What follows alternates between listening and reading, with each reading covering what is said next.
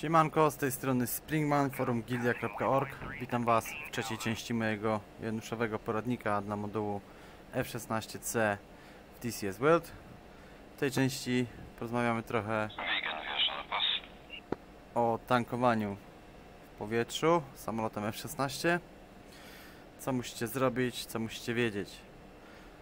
E, Jak słyszycie, jesteśmy na serwerze gildii, więc naszym tankowcem będzie KC-135, konkretnie Texaco numer 3, jeżeli dobrze pamiętam.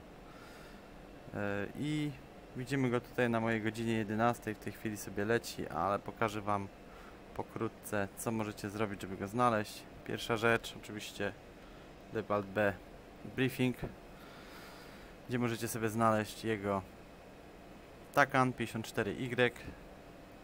W tej chwili częstotliwość tankowców to 251 MHz. Operuje na 23 tysiącach stóp, to by się zgadzało. Wróćmy więc do kokpitu. Teraz wpiszemy sobie Takan. Wchodzimy przez ICP-1 do panelu Takana na dedzie.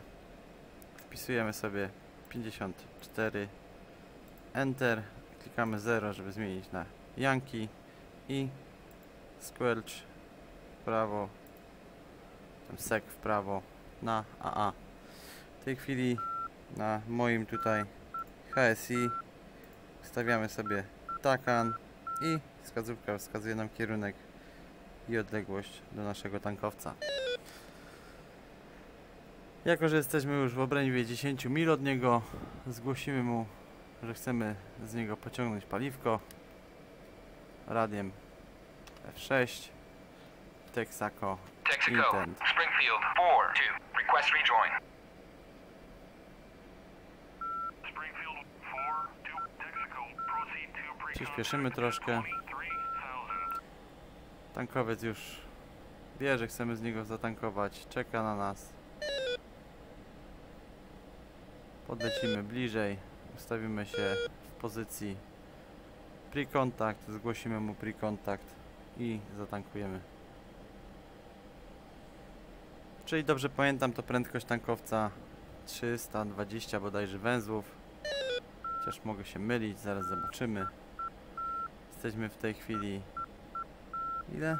3 mile od niego. Tankowiec w lewym zakręcie.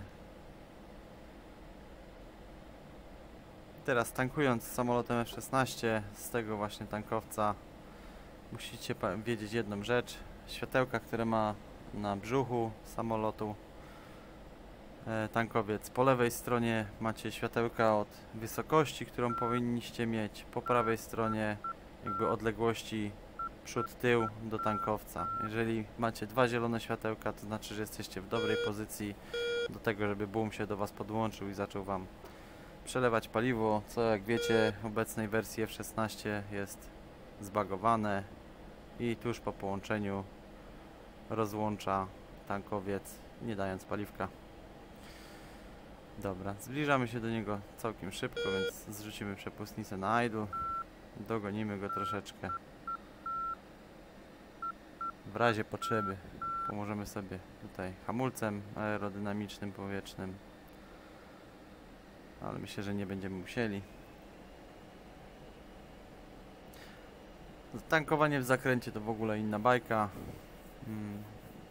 Trzeba wysiedzieć swoje najpierw, podłączając się do tankowca na prostej, a następnie dopiero kombinować z podłączaniem się w zakręcie, co jednak dzisiaj nie zobaczycie, bo widzę, że tankowiec wyrównuje. Zbliżamy się do niego, trochę hamulca powietrznego, żeby nas spowolnić. I tak mi się wydaje, że te 320 węzłów będzie miał. Zaraz zobaczymy. Lecimy jeszcze trochę bliżej. Pozycja do e, pre-kontaktu to praktycznie przy samym tankowcu, tak żebyśmy widzieli końcówkę booma już przed sobą.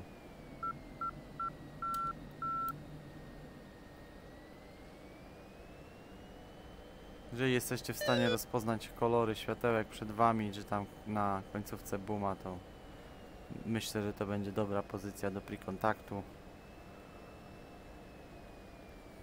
Tak jak w tej chwili widzę już jasno i wyraźnie kolory na boomie.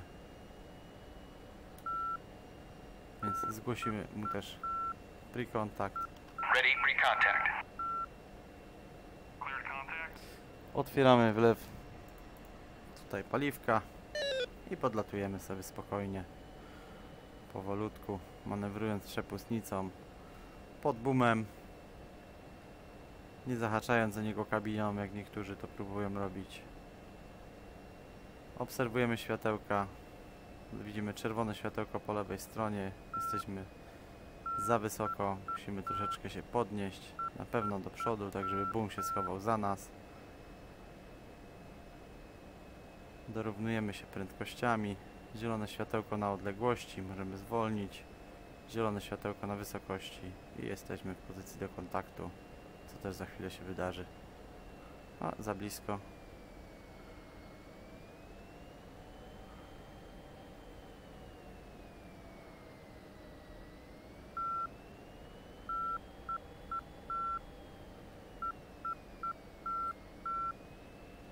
Teraz powinno być dobre. Jest kontakt. Transfer complete. Możemy odejść w prawo pod skrzydłem. Zamknąć wlot paliwka. Zgłosić. A nawet nie musimy zgłaszać w sumie, bo on automatycznie odrzuca nam już tutaj tankowanko. No, ale sprawdźmy to w razie co. Jest tankowanko zakończone według niego, więc nie musimy się nawet rozłączać. Tyle a propos tankowania w powietrzu samolotem F-16. Z tej strony mówił do Was Springman, forum. Zapraszam Was do oglądania kolejnych części Januszowego poradnika. Zapraszam do komentowania. Dajcie mi znać, co Wam się podoba, co Wam się nie podoba może w filmikach. A jeżeli Wam się filmiki podobają i są dla Was przydatne, zostawcie łapkę w górę. A jeżeli chcecie, zostawcie łapkę w dół. Będę coś też wiedział wtedy jakiś feedback od Was będę miał, co zrobić z tymi filmikami dalej. Dzięki wielkie i na razie. Do następnego.